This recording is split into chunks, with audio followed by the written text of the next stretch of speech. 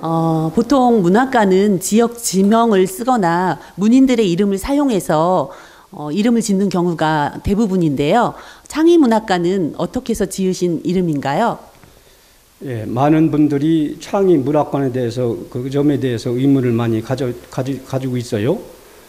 창의 문학관은 새로운 문학을 중심으로 새로운 문학 정신을 충청 도민에게 전시하고 알리고 이런 역할을 하기 위해서 어, 설립하게 됐습니다.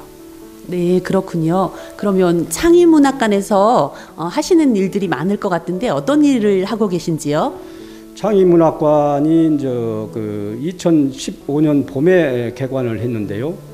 그 해에 개관 기념으로 한국 유명문인 33인 6필전을 전시했어요.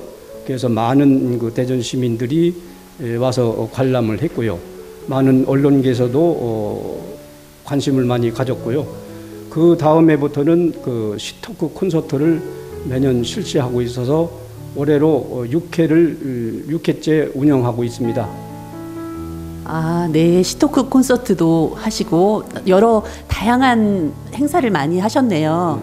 네. 그러면 어, 여기 창의문학관에 전시된 작품은 어, 꽤 많은 것 같은데 어떤 작품들이 전시되어 있나요?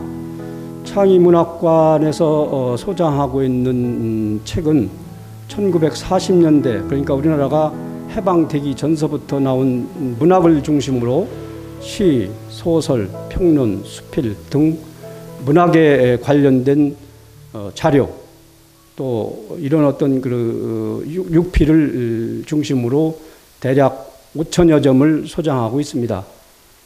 네, 굉장한 작품들이 많은데 오늘 관장님께서 이렇게 직접 설명을 해주시니까 머릿속에 쏙쏙 들어오는 것 같습니다. 오늘 감사합니다.